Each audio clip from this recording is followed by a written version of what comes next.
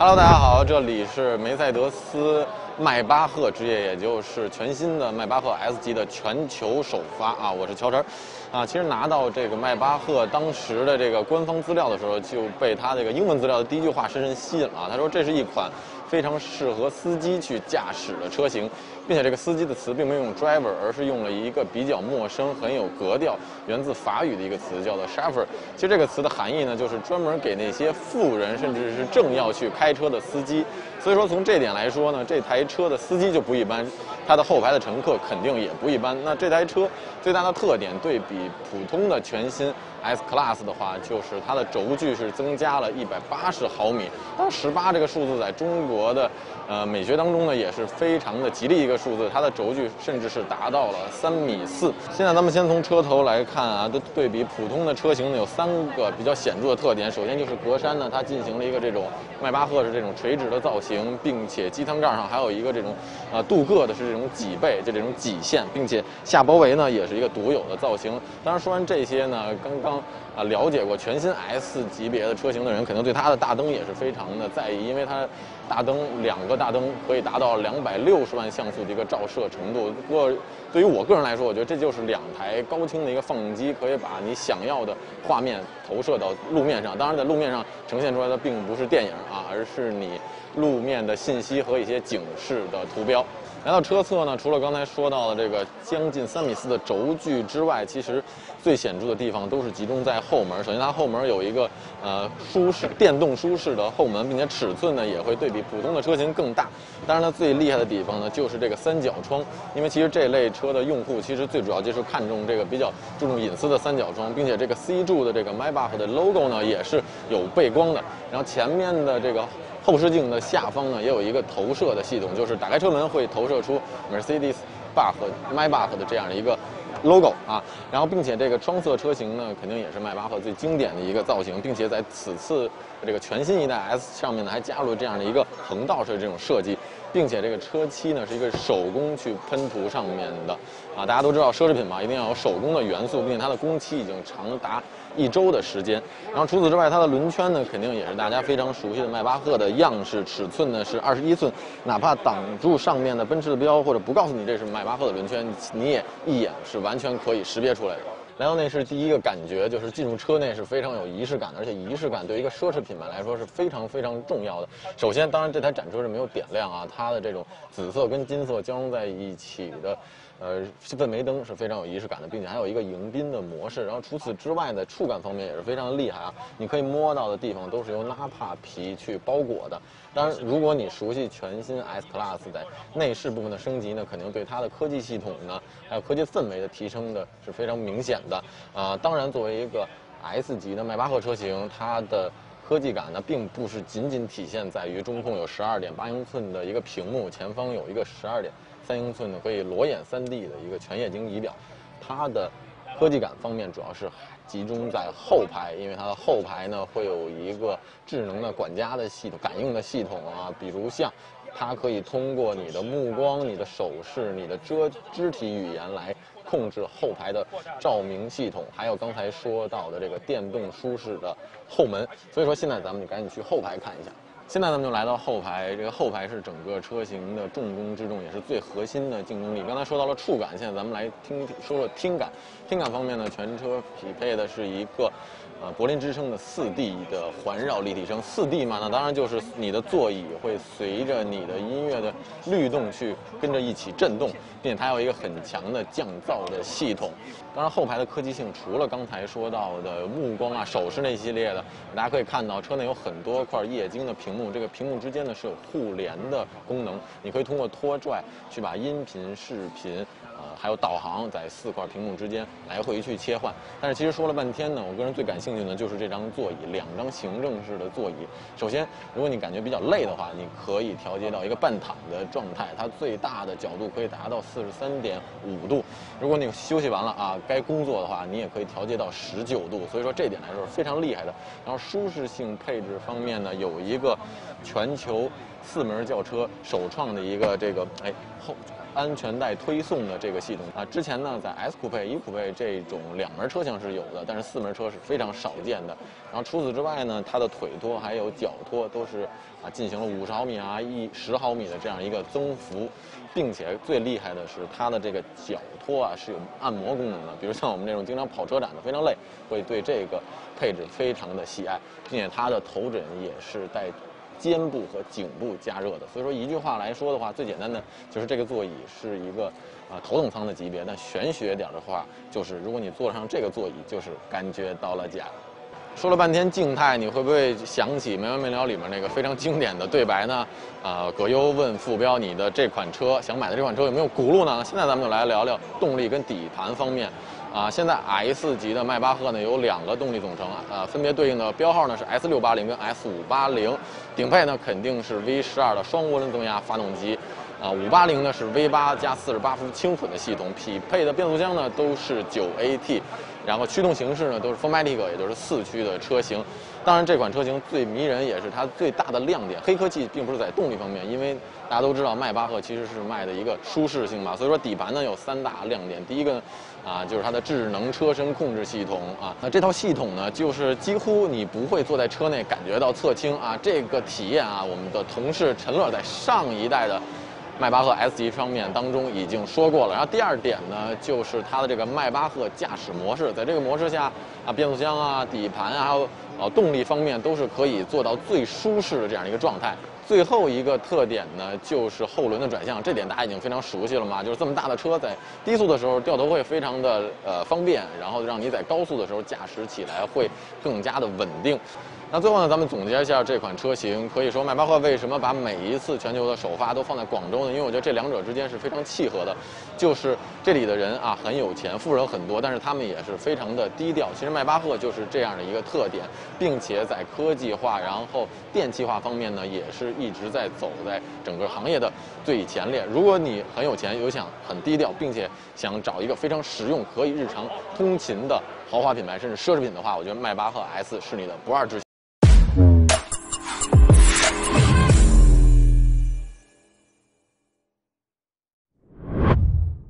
大家好，欢迎来到汽车之家广州车展前方报道团队，我是海文。我身边的这台呢，就是全新宝马二系 Coupe。那么它呢，出自宝马的这个 FAAR 前驱车平台。我们首先说这个外观方面，它跟宝马一系呢是大同小异的，它是一个三厢款的一个设计。那么在前细节方面呢，它同样采用了这个尺寸巨大的双肾型进气格栅。那么细节之处呢，就是它这个格栅这里带有一个尖角式的设计，而一系这里是一个圆角的。接下来我们看一下头灯的造型。那么一系这个头灯这里是非常的平滑的，二系这里呢是带有一个转弯的角。另外呢，在灯组内部呢，我们可以看到宝马传统的圆形的天使眼设计呢，现在已经进化成两个 C 型的有棱有角的一个 LED 灯带，看起来是富有这个进取动感的一个风格的。同时，我们可以看到前包围的两侧呢，这里是带有这个 Air Cut 的这个空气导流式的设计，这样子有助于提升它的这个空气动力学表现。来到车身的侧面，我们可以看到这台车的车顶非常的平滑，它这样子呢就有利于让人看起来车身非常的修长，有一个轿跑车的一个造型风格。另外，它在后三角窗这里呢，我们可以看到它已经不是宝马传统的霍式转角的设计，而是显得非常的尖锐。它这样子能让车窗看起来很修长，拉伸整个视觉的长度。有一点值得一提的是，这台宝马二系呢，它是四个车门呢都采用了这个无边框式的设计，这样子很有跑车的一个风范。但是有个细节大家需要注意一下，就是前门这里呢，它这个尖角是非常锐利的，日常使用当中需要小心。在轮胎配置方面呢，我们这台车采用的是一个。普利司通太阳者的一个轮胎配置，它也是比较注重静音舒适性的，就符合这台车家用轿车的一个定位。接下来我们看一下车尾的表现。尾部的造型呢，同样非常的具有动感。首先我们可以看到这里加装了一个呃小尺寸的一个后扰流板，看起来呢很具有一个动感的气息。另外这一代宝马车型呢，它有个家族式的倒钩式的尾灯，它的尺寸非常的长。两个尾灯组合在一起呢，就有利于拉伸整个视觉的宽度，让整个车尾看起来更加的扁平。同时呢，我们这台车是一个 225i 的一个呃动力配置，所以它的后包围呢，跟我之前在澳门车展拍的那个二幺八 i 是不一样的。二幺八 i 采用的是一个单圆孔的排气，而这里是采用的一个双边共两出的一个排气设计。而且呢，它这个后包围底部呢带有一个类似扩散器的一个设计，看起来呢很有动感。接下来我们看一下车内的表现。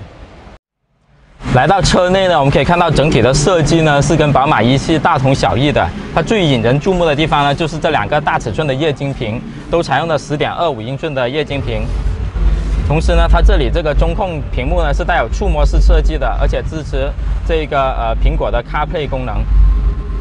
另外呢，它这一个方向盘呢采用的是一个呃 M 版的三辐式造型。看起来非常的动感，而且手握感呢也非常的厚实，很有一个动感气息，能够勾起人的这个驾驶欲望。另外，那在它这个挡把设计方面呢，也是这一代宝马经典的这个小鸡腿版的一个设计，旁边是一个呃新款的 iDrive 系统，整体的这个造型设计呢也是比较的简单实用。在用料方面呢，也值得一提。这台车呢，大面积采用了这个软性材料。另外有一个细节呢，做得很漂亮，就是它在这个中控台以及门板处呢，这里都带有一个呃细节的红色背光设计，看起来呢非常的高雅，富有动感。接下来我们看一下空间表现。我把座椅调到最低，我的头部呢还有四指的一个空间余量。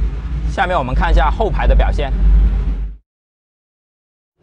来到后排呢，我先说一下空间表现。首先，这台车的轴距呢达到二六七零 mm，所以它的纵向距离呢还是比较充裕的，有超过两拳的一个距离。但是如果是头部空间的话，因为它的车的高度呢只有幺四二零 mm，我身高一米七的人坐进来，我头部呢基本上已经是顶头的了。如果是更高的朋友坐进来呢，可能会觉得有点压抑。另外呢，在配置方面呢，我们可以看到一个大尺寸的全景天窗。还有一个后排的两个 Type C 的接口，还有后排的空调出风口呢，都是有配置的。在配置方面呢，做的还是比较好的。在动力方面呢，全新宝马二系呢是带有比较丰富的这个动力系统的。海外版有一个 218i，采用的是 1.5T 三缸的发动机。那么我们身边这个是 225i 的车型，它采用的是 2.0T 发动机，搭配的是 8AT 变速箱。另外，它还有一个高性能的版本，采用的是 2.0T 高功率的发动机，搭配的是一个四驱系统。最后，我们简单总结一下，宝马二系 Grand Coupe 呢是一个富有运动化激情的一台车型。虽然它的空间呢可能不尽如人意，但是它整体的这一个配置以及它的运动表现呢都是令人值得。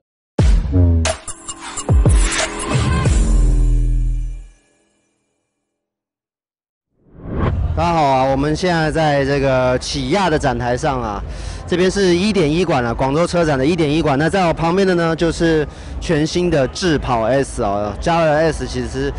呃，跟以前的智跑是差别蛮大的。首先呢，可以看到它的车头啊，跟以前的智跑是区别蛮大的，它的车头的这个。大灯造型是一个比较不规则的样子，然后大面积的这个黑色中网啊，是也是融合了这个虎啸式的设计啊，我觉得这个辨识度蛮高的。起亚最近这几年的设计啊，还有这个整体的感觉都让人觉得蛮运动的哈。然后呢，大家再看到这个侧面啊，侧面它这个轮毂啊、轮拱这边使用了一个这个黑色的设计啊，不过这是个漆面的设计，其实还是有划伤的风险啊。那轮胎呢？轮胎是这个全地形胎啊，但我不确定在试售车上是不是也会用了这个样式的轮胎啊。总之，我觉得这个轮圈看起来黑白的。高反差的设计十分的显眼啊，然后侧裙呢使用一个亮色配色，整个车看起来十分的鲜艳。接下来我们再看到车尾，那来到车尾呢，大家可以看到整体的设计还是非常的硬朗哦，而且这边还是有一条亮橘色的这个色带啊，呃，增添了一些运动的风格。那尾灯的设计呢，哎，我个人也是觉得蛮特别，因为现在都流行这种贯穿式的尾灯，但是它是使用这种直立的尾灯，所以看起来有点与众不同了。那我们的展车呢？呃，因为还没有公布内饰，我们没有办法看到里面到底是长什么样子哦，也看不到，透不过这玻璃也看不进去。但是呢，呃，据我现在得到的资料呢，这辆车啊搭载这个 L2 级别的驾驶辅助系统啊，也就是说，呃，嗯，跟很多呃主流的车型是一样一样厉害的啦，就是在驾驶辅助这一块呢，以及百度网联智能3.0系统啊，这个。也算是蛮智能的一辆车了。然后最后呢，我还是想提一下这辆车的一些配置啊，因为我们现在是进不到车子里面的，但是据我所得知的资料啊，这辆车配置了 L2 级别的驾驶辅助系统啊，能有效的减轻驾驶人在长途驾驶之后的负担。另外啊，它的动力也是一个亮点，1.5T 发动机，最大功率200马力啊，在同级别之中算是非常的耀眼呐。呃，我相信内部的空间应该是蛮可观的，虽然说我们这次不能进去，但是期待一下它。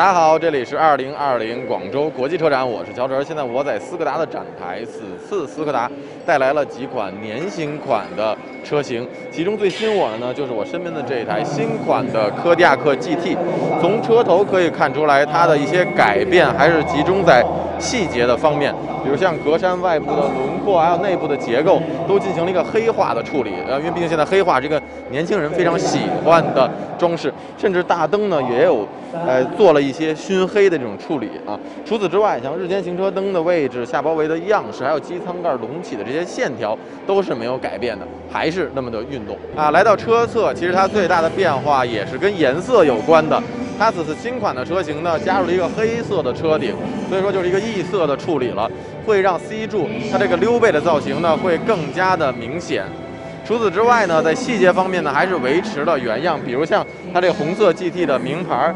轮圈的样式还有规格，比如像还是这种五个花瓣式的这种造型，还是很运动的，并且轮胎选取呢也是一个高性能的公路胎，马牌的 CSC 五。现在咱们来到车内，车内的变化对比外观呢要大一些，比如像啊中控的这个屏幕是取消掉了之前的机械旋钮，现在是全部的这种触控式的。这几款更新的车型呢也加入了自己官方的一个 app，你手机可以车与车进行一个很方便的互联了。下方空调控制区域也是一个取消掉机械旋钮的结构，现在全都是热敏按键。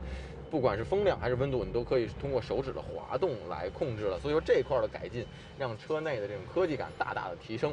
但是别忘了，它是一个尾缀有 GT 的，所以说它一定要突出一自己的运动性。所以说，啊，前排最大的改进啊，最吸引我的地方就是这个这张座椅啊，非常赛车化一个铜椅。首先材质是两个材质，有 Alcantara 还有真皮，并且上面还有黄色的这些点缀。啊，甚至是这种肩部的这种支撑呢，包裹呢也是有实际意义的。希望它是三八零的标配。现在咱们来到后排，先看一下空间啊，其实应该是没有什么变化。所以说官方是没有公布数据的，所以说它三维轴距甚至是动力的总成应该是不会变化的。后排的配置呢，有出风口，有一个小的储物，还有两个 USB，一个 Type A，一个 Type C。后面有杯架，这些都是没有问题的。最终咱们总结一下这款车型，作为一个年款车型，其实变化还是很大的。比如像外观的双色车身啊，黑色元素的加入，车内取消掉了很多机械的结构，科技感更好，甚至也有自己官方的 app 了。但是我个人最喜欢的还是这张桶型座椅的加入。所以说新款的呃柯迪亚克 GT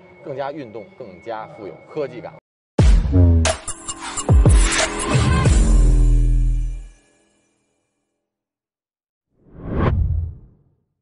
Hello，大家好，欢迎来到二零二零年的广州车展。那么各位也看到了，这台像改装车一样的，就是小鹏汽车这次带来的装备了剪刀门的，目前叫鹏翼版小鹏 P7。呃，根据目前的资料看啊，这台车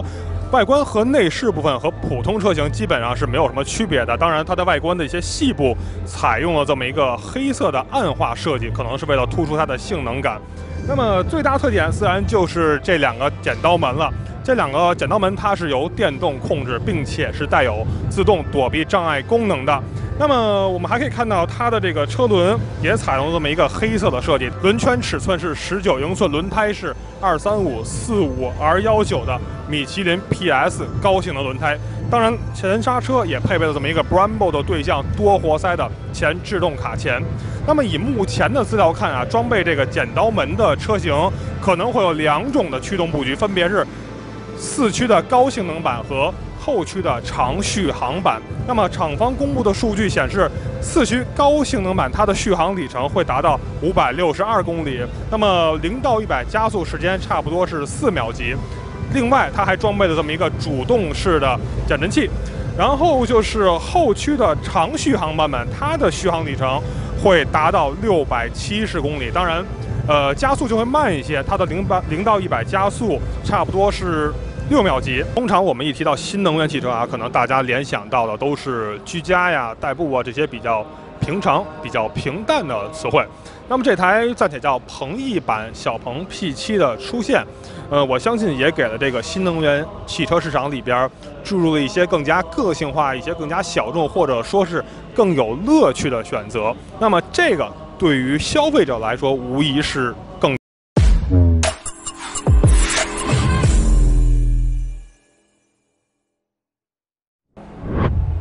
各位汽车之家的观众朋友们，大家好。我们现在所在的位置呢，是这次广州车展的上汽 R 品牌的展台。作为一个全新的品牌呢，自然也要带来一台新的概念车，给大家来看一下他们未来的一些设计的理念。那我旁边这一台 R Aura Concept 就是他们最新的一款概念车型了。呃，其实直观上来看，这款车有几个特点，我可以跟大家来简单的说一下。比如说，车头的位置，大家看到在传统车的那个前风挡玻璃的位置，其实它是没有配备一个摄像头的，它反而是把前置摄像头放在了这个位置。呃，相对来讲视角会低一些。啊，当然官方也在旁边标注了，这是一个 5G System High Tech Vision i，什么意思呢？就是接驳了 5G 技术的高科技摄像头。啊，当然它的方案呢，从目前来看，应该也是一个单目的解决方案。那么除了这个特点之外，从侧边我们也能看到，整个车它其实是没有具备外部的后视镜和外部的这个车门把手的。然后车门把手采用内藏式，那外后视镜呢，自然也就换成了电子的后视镜。呃，我们可以去侧车车的侧面来简单的看一下。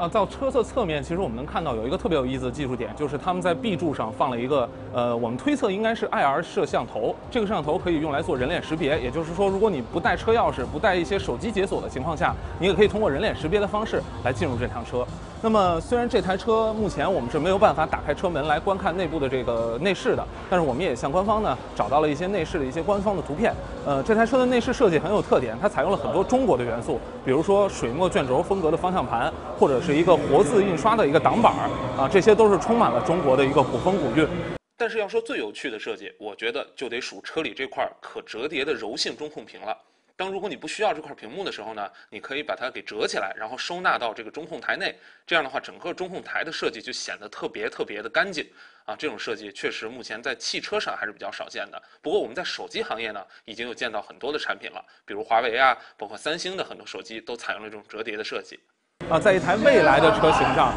这样设计我觉得还是特别特别有意思的一个点。那么这台车暂时就是这样，不知道大家喜不喜欢它这个未来的设计。我据悉呢，所有未来 R 品牌的车型都会从这台 R Aura Concept 上来汲取灵感。那么我们也期待接下来他们会带来哪些不一样的。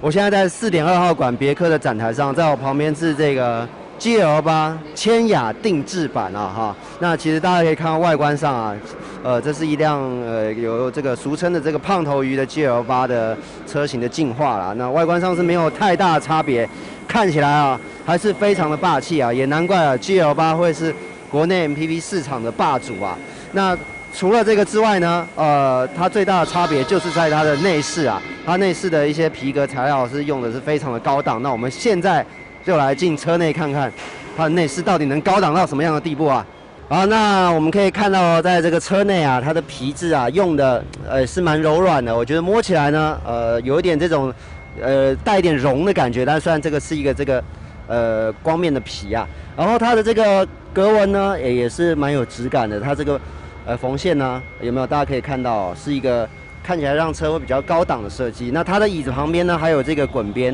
啊，白色的滚边，好，大家可以看到，其实是。这个椅子的质感呢，做的是还不错。那它的地毯呢，这个绒毛啊，也是比较长一点的，踩上去其实有一种就是踩在草皮上的感觉，蛮舒服的。然后它的动力呢，一样是 2.0T 涡轮增压发动机，最大功率237马力，最大扭矩350牛米啊，跟旧款车型一样啊，没有什么变化的。总的来说呢，我觉得这辆车啊，这个配色跟这个乘坐的感觉都蛮能显现出这辆车的质感以及高级感啊。我相信啊，应该是这个接送商务人士的这个最佳的一款选。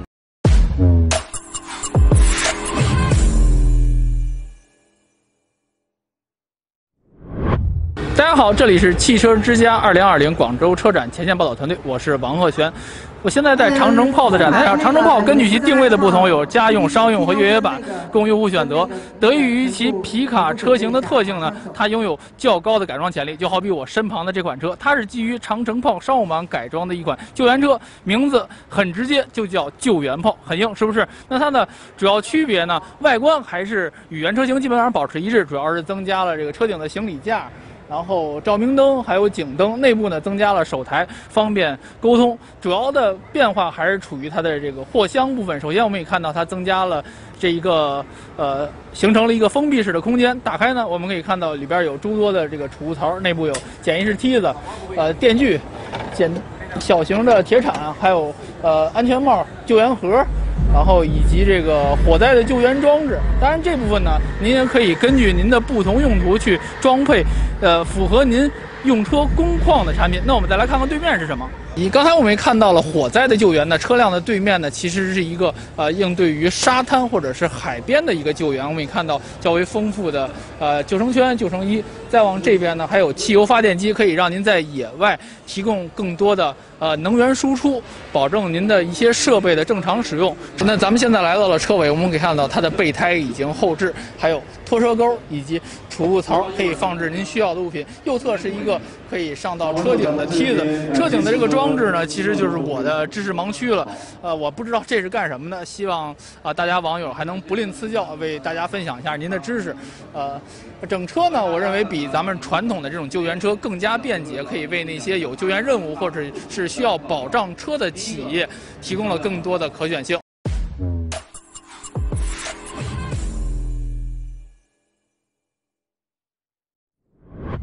本次广州车展，荣威品牌带来了全新的 RX 5 Max 车型。这台车全车外观最大的变化集中在车头，使用了全新的荣麟中网，这个也是一个家族性的设计。全新的荣麟中网看着会更加科幻、更加时尚一些，并且全新时标也使用了自发光的设计，在夜晚点亮之后，配合这个双灯带的设计，以及。车灯组这个 LED 日行灯的灯带，让整体车头看着会更加有科幻感。而侧面轮圈方面，十九英寸双色轮圈配合一套二三五四五 R 十九的米其林 Prismy 四系列轮胎。这套轮胎最大的特点呢，就是节能、静音以及舒适性。但是我个人觉得，这么大尺寸的 SUV，如果车轮的直径能再大一点，那看起来会更加有力量感。而整体侧面看起来，这台车的尺寸也非常大。C 柱和 D 柱的设计我非常喜欢，因为它很特别。车尾 LED 的尾灯整体造型看着也同样很有科技感。那既然这台车车身尺寸在紧凑型 SUV 中是比较大的，那车内表现究竟如何呢？看看吧。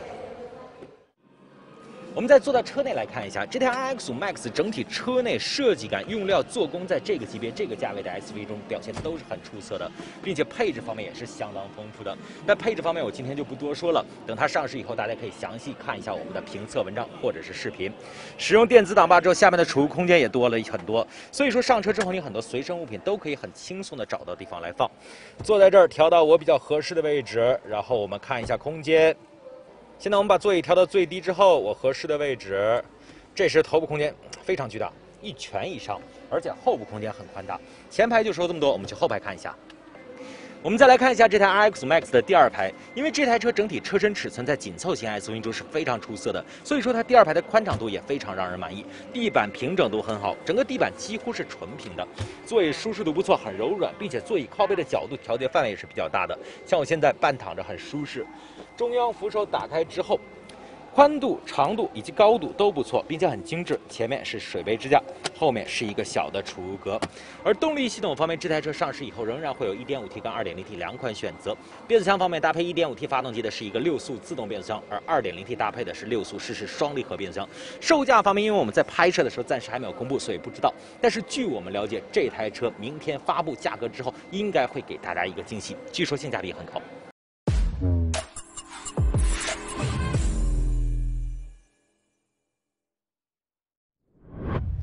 本次广州车展上，名爵品牌带来的一款名爵六限量版车型，就是我身边这台数字曼巴限量版。这台车最大的特点呢，就是整体外观配色是非常大胆、非常时尚的。左半部分是绿色，右半部分是哑光灰的配色，而且整体车头也可以看见数字曼巴版特有的配色拉花以及名爵标识，在车身侧面同样是可以找到的。而整体外观除了配色方面有些区别之外，整体车头与普通的名爵六并没有什么太大区别。中网的尺寸很大，配合头灯，让整体车头看着是很有进攻性、很动感的。